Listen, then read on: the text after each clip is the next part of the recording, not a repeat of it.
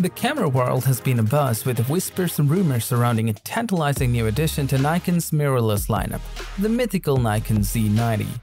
This elusive camera, shrouded in speculation, has managed to capture the attention of photography enthusiasts worldwide, thanks to its purported capabilities and the promise of filling a crucial gap in Nikon's arsenal.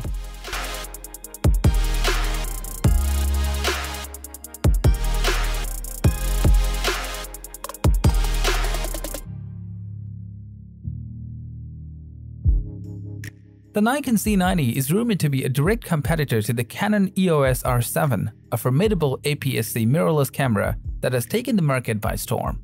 Touted as a potential replacement for the beloved Nikon D500 or even branded as a baby Nikon Z9, the Z90 is expected to cater to the demanding needs of sports and wildlife photographers, offering a powerful combination of high-resolution images and rapid-fire shooting, amplified by the crop factor of its APS-C sensor.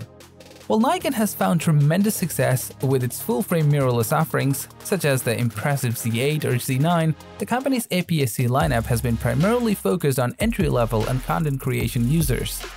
The introduction of the Nikon Z90 would fill a glaring void, providing a compelling option for professionals and enthusiasts seeking a more specialized APS-C solution.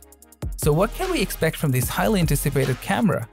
According to the rumor, the Nikon Z90 is said to feature a 33-megapixel DX APS-C sensor capable of capturing stunning 4K footage at 60 frames per second, with the added bonus of oversampling for improved quality.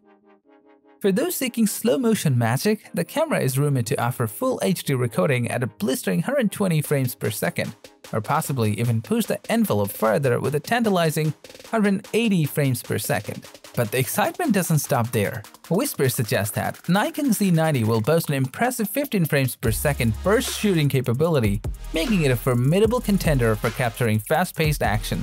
Additionally, the camera is rumored to feature an impressive 6 stops of in-body image stabilization, ensuring crisp, shake-free images and videos even in challenging conditions. Fueling the anticipation further, there's been conflicting chatter about whether the Z90 will feature a stacked sensor, a technology that has proven its mettle in powerhouses like the Fujifilm X-H2S and the OM System OM1. While the Canon EOS R7 lacks a stacked sensor, the potential inclusion of this cutting-edge technology in the Nikon Z90 could propel its performance to unprecedented heights. Speculation also revolves around the camera's burst speed, with some suggesting that the rumored 15 frames per second might be limited to mechanical shutters.